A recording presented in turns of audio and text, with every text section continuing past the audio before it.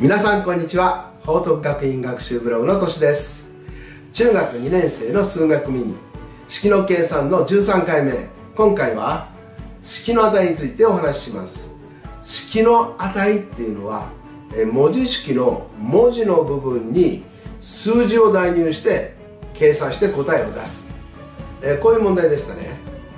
この式の値これを求めるときは式を簡単にしてから数字を代入すると。これが基本になります。括弧 1x イコール 5y イコールマイナス7の時次の式の値を求めましょう。式は 4x2 乗 ×xy 割る括弧マイナス 2x と。こういう式です。これをそのままあ x の5だから 4×5 の2乗 ×5× マイナス7割るとかねこうやって計算する人がねいるんですよ。あなた大丈夫ですか？これはダメですよね。さっきここの部分言ったように式を簡単にしてから代入ですね。簡単にしてから代入こうしてください。ですからまずこの文字式計算します。掛け算と割り算混じっているのでこの割り算の部分をまず掛け算に直した式。これに変えます。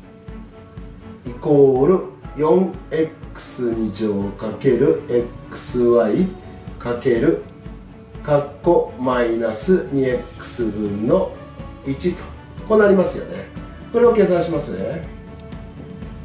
えー、正の数かける正の数かける負の数なので答えは負になるのでマイナスを前に出して分数の形にします。2x 分の 4x2 乗かける xy 約分します。2と4を約分して4は22は 1x 同士を約分しますね。と分母がなくなってマイナス 2x2 乗 y と式が簡単になったのでここで数字の部分代入します。イコールマイナス2かける x は5ですから5の2乗かける y はマイナス7マイナス7掛け算の中に負の数が2つつまり偶数個あるので答えは正の数になりますよね。そうして計算すると答えは350とこのように出てくるわけです。括弧2番。X イコール 2y イコールマイナス3の時次の式の値を求めましょう。これも同じです。式は3括弧 4x-2y 括弧引く2括弧 4x マイナス 5y これをまず括弧を外した式にします。イコール 3412x x く 6y 引く c2 が 8x マイナス 2× マイナス 5y なのでプラス 10y とこうなりますね、えー、ちょっと順番変えますね。12x-8x-6y 足す 10y と。これを計算すると 4x 足す 4y になります。この状態で、えー、数字を代入します。これ簡単だったのでこの状態で。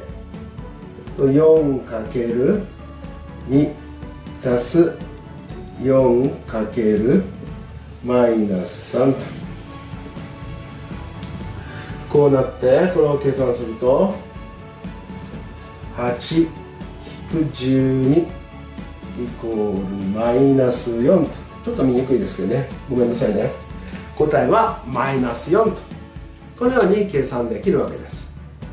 ここで式の値を求めるときもう一度確認すると式の値は式を簡単にしてから簡単にまとめてから数を代入すると。